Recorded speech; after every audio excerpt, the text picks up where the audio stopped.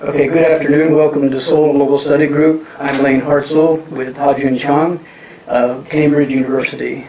Good afternoon. How are you? Hi, uh, pleasure to be uh, talking to you. And also today I have Michel Bauwens with us. He's from P2P Foundation.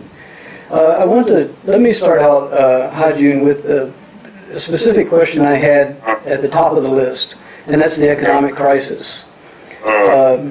Can we just talk about that a little bit? And specifically, right now, Europe is right on the crest of maybe breaking up, maybe not. We're not quite sure. And what, what's the newest information there?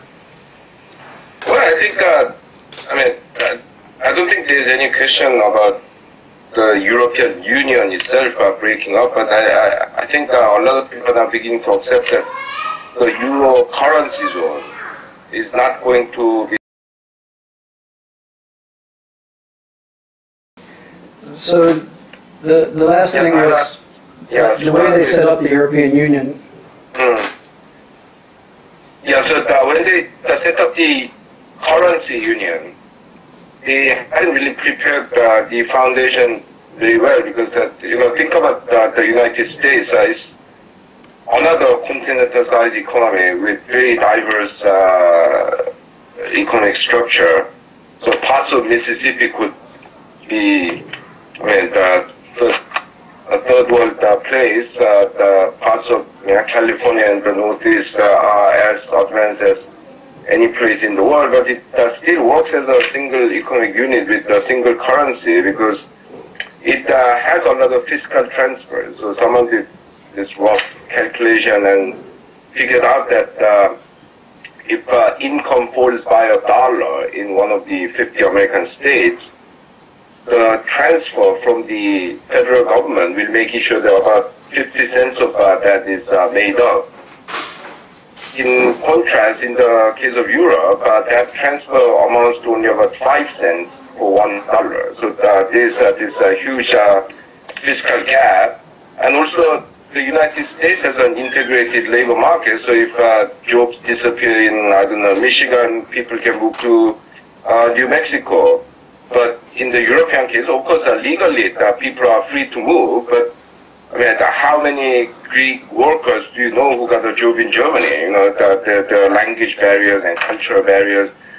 So we stopped uh, these things, and on top of that, they set up the central bank, uh, the European Central Bank, which uh, acts as a central bank only when it likes to. You know, you cannot have so.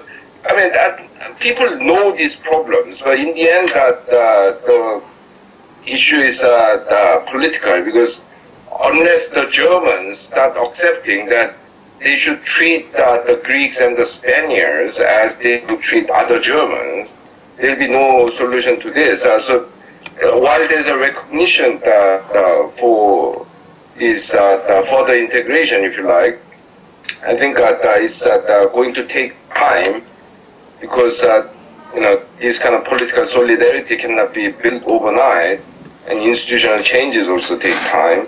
The question is whether the eurozone can survive uh, that period, and I mean that's why I'm guessing that uh, there might be exit by you know, at least uh, Greece and one or two other countries in the process. Now the biggest danger is that, that if the Germans want to exit, you know, the Germans might at one point say, well, we are not uh, paying for this anymore and uh, you can all go to hell. So if that happens, uh, things will become really ugly. So we are really standing at a crossroads. Mm-hmm. Ha Joon, I have a, an additional question about the same topic. Um, mm. So it seems to me that there is a consistent effort uh, to, you know, undermine this, this, the welfare state in Europe, to yep uh, bring back pension levels, uh, to end free education, uh, free healthcare. You see it happening everywhere. Um, right. At the same time, it seems to me that if you destroy so radically the income and the consumption of of people, that this is not good for the system as a whole either.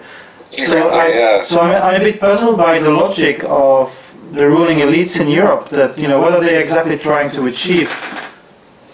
Well, they are very short-sighted because, as you said, I mean, you keep putting pressure on people's living standard, consumption will fall because even if they have certain amount of income, if uh, you destroy the welfare state, they lose the sense of uh, security and uh, they'll start kind of saving more, uh, spending that will put downward pressure on the economy. Also, that, that rewriting the social contract, if you like, in this kind of uh, backhanded way, will create uh, more social conflict, which is uh, not good for the uh, rich people either. So that this is a very short-sighted uh, move. But unfortunately, many people in the European ruling elite uh, see this as a good chance to roll back the welfare state, which uh, they think have, uh, has become too big, and uh, the